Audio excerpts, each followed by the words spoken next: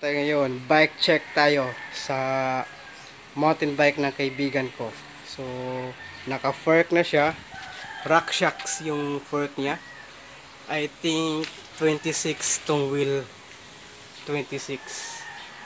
Pati yung frame niya 26. Um, stock na ito lahat eh. So,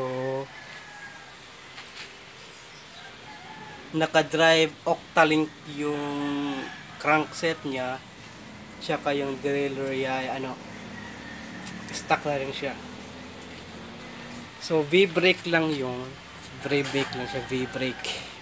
Pangalan ay Kona. Mabilis to eh so I think yung ano niya ay 1 2 3 4 5, 6, 7. So, 3 by 7 yung speed niya. Seat post, stock na rin siya.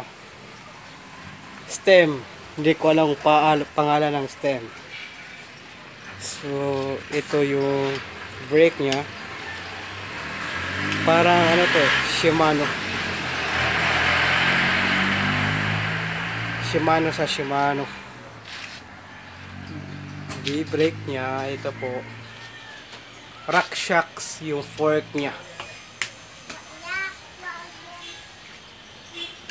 So Kona yung Kona yung pangalan ng frame.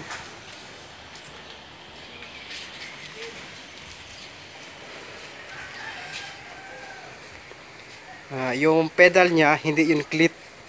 So I think ito siya pasok mo lang yung sapatos dito. So okay siya. Octalink drive yung crank niya. Group set. Quick release. Ito